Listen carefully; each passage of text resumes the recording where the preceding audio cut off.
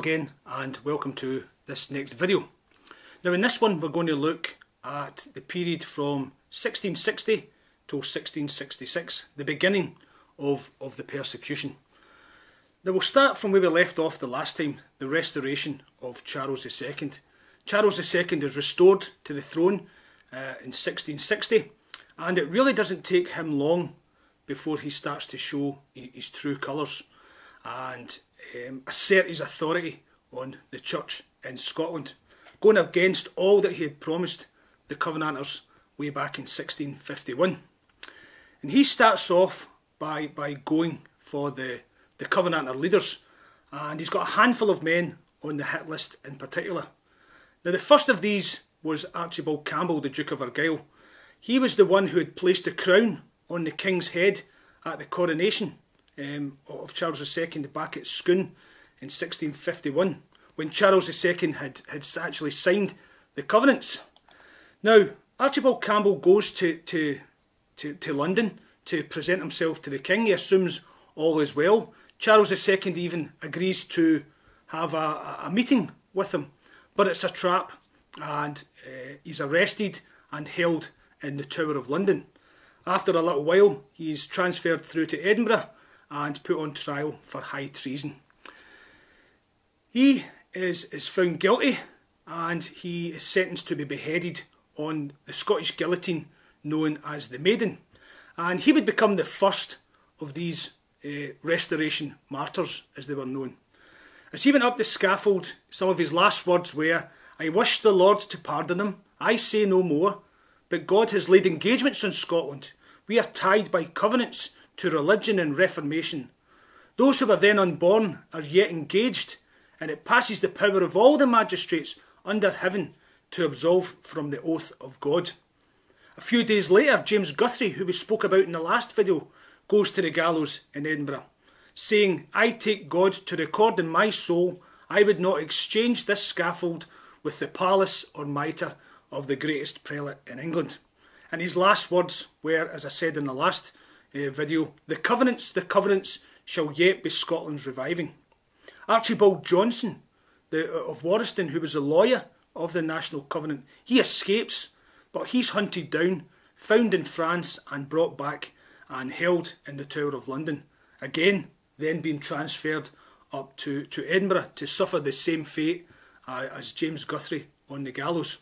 From the scaffold, he, he reads his testimony, part of which was to just encourage God's people to continue praying and trusting God um, and just assuring them that, that, that God would, quote, return to his own truths, interests, and servants, to revive his name, his covenant, his word, his work, his sanctuary, and his saints in this nation, yea, even in these three covenanted nations, which were by so solemn bonds, covenants, subscriptions, and oaths given away and devoted to himself.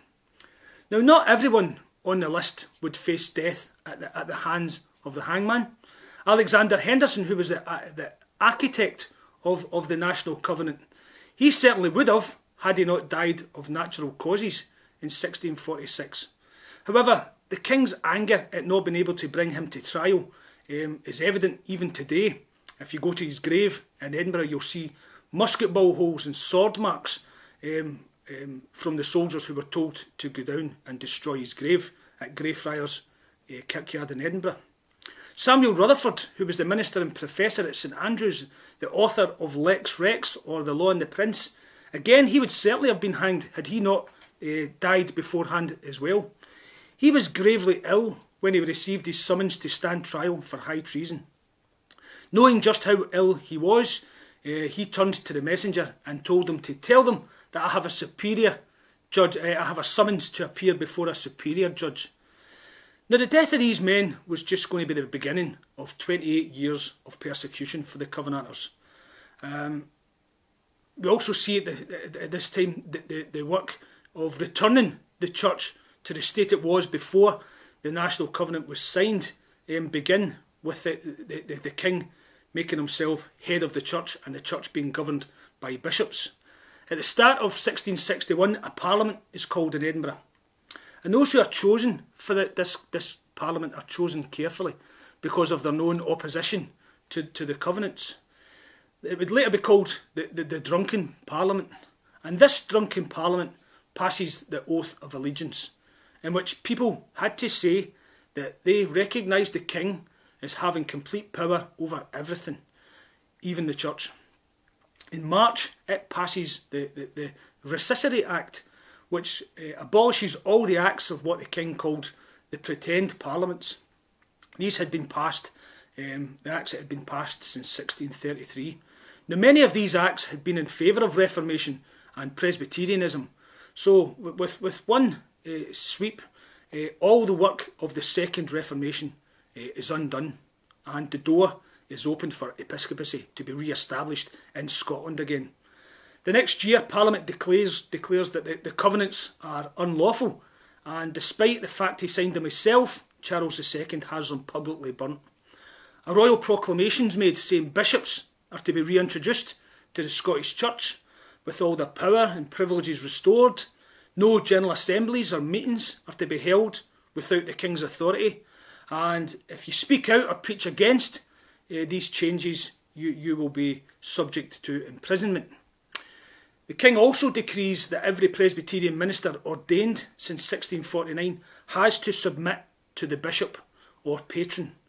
However, many of these ministers, especially in the lowlands, refuse to submit. So the Earl of Middleton, who is Charles II's commissioner to the Parliament up in Scotland, decides to get tough with these ministers. The Privy Council meets in the hall uh, of the old Glasgow College on the 1st of October 1662 and issues a proclamation that all the ministers who have not submitted to their bishops are to remove themselves and their families out of their parishes by the 1st of November uh, and to lose their manses and their salaries. Soldiers would be used to enforce this um, by entering the churches and, and forcibly removing them if need be. Only one person on that Privy Council speaks out against it, and that was James Lockhart of Lee. In sad reality, uh, the reason he spoke out was he saw uh, how how foolish it was, and also he was the only one there that was sober, which is why it became known as the Drunken Council. Now they expected no more than ten ministers were going to give up their livelihoods, but in reality, between three and four hundred ministers chose to do just that, rather than go against their consciences. Uh, this was known as, as the Great Ejection. So on the last Sunday in October 1662, hundreds of ministers say farewell to their congregations amidst scenes of sadness and grief and tears. The Reverend Alexander Peden, after closing the door of his church at, down at Glenluce, he strikes the door three times with his Bible, saying, I arrest thee in my Master's name, that none ever enter thee but such as come in through the door as I have done. The, the, the Reverend John Welsh who was the great grandson of John Knox and who was the minister at Irongray in Dumfries and Galloway, um, delays his, his leaving. So an order's issued for his arrest, but when the soldiers come to um, come to arrest him, he's surrounded by his congregation and they escort him away from, from the church. Now the government and the bishops were left with a, a problem here.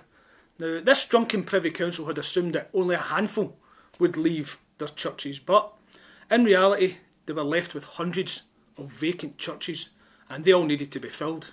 So, what were they going to do? Well, to deal with this crisis, many young men for the Highlands are brought south and, with very little training, are ordained as curates. There was too many of them, eh, so many of them leaving the Highlands that the, the farmers up there complained at having so few farm labourers due to them all getting jobs as ministers in the south. Now, these young Highlanders were ignorant of the lowlands uh, and the lowland ways, and they were lacking both spiritually and morally. Bishop Burnet himself says that they were the dregs and refuse of the northern parts. They were the worst preachers I ever heard. They were ignorant to a reproach, and many of them were openly vicious. Needless to say, they were disliked by the congregations that they were forced upon, and many of them objected to their arrival. In fact, at Irongray, uh, the curate had to be escorted by soldiers, but even then, the women of Irongray attacked them with stones and beat them back. In this incident, the, the women would later face uh, public whipping and the ringleader face banishment. The persecution, uh, the persecution of the Covenanters, we can see is starting to begin now, and it's only going to get worse. Uh, even when these curates got inside their churches, their, their troubles never stopped. Uh, didn't stop there. Quite often they would find the doors of the church barricaded by the people. The church bells to summon the people to worship wouldn't ring because people would take uh, remove the tongues of the bell. And quite often there was just no worshippers there at all. The whole situation was just becoming unworkable. Um, with hardly anybody going to these, these churches to hear these Episcopal ministers, Parliament passes an act or acts in 1663 that have become known as the Bishop's Dragnet. In these, the people who didn't go to their nearest church on Sundays would be fined um, large amounts of money, and that money being collected by the military. And those, those ministers who were ejected, who continued to preach, would also be punished. Husbands, they were responsible for making sure their wives were at church, or, or they would face punishment as well. However, this didn't stop the Covenanters. The people still sought out their faithful preachers uh, and, and would gather together, uh, either in private homes or in barns or in the open air, uh, in fields, um, at field services known as conventicles. Spies and informers would be employed to try and find these, these conventicles, these meetings. But despite this, they continued to grow and the size and numbers of them was really causing alarm for the Privy Council and the bishops. So in 1655, a royal pro- uh, proclamation is issued forbidding these uh, conventicles. Your curates, most of them who were openly hostile to the people in their parishes, they would take lists of those not attending the churches, their churches, and pass them to the soldiers. These were known as blacklists. Um, the soldiers would then use fines, imprisonment, and even torture on those na- whose names were on, on the lists, these black lists. And these fines were not small um, amounts, they were huge amounts. Any poor farmer who couldn't uh, pay them would have the soldiers quartered on his farm and they would consume and spoil everything he had until he had nothing left. And hundreds of people were, were ruined in this way. Prisons were becoming overcrowded and torture was becoming common. Many of the people fled to the hills and moors just to seek safety and were now being declared rebels. With this persecution increasing, things were becoming unbearable and the people were just being pushed to their limit. And all this led the people in the southwest of Scotland to rise up in the first armed rebellion by the Covenanters. That rebellion would begin in the small hamlet of St John's Town of Dalry in Dumfries and Galloway and would end uh, on the side of the Pentland Hills outside Edinburgh. And that's where we're going to pick up the next time. That's what we're going to look at in, in the next video. We'll see the, the, the first armed rebellion. So, thanks again for, for watching, and uh, we hope to bring the next one to you again shortly. So, thank you very much and take care.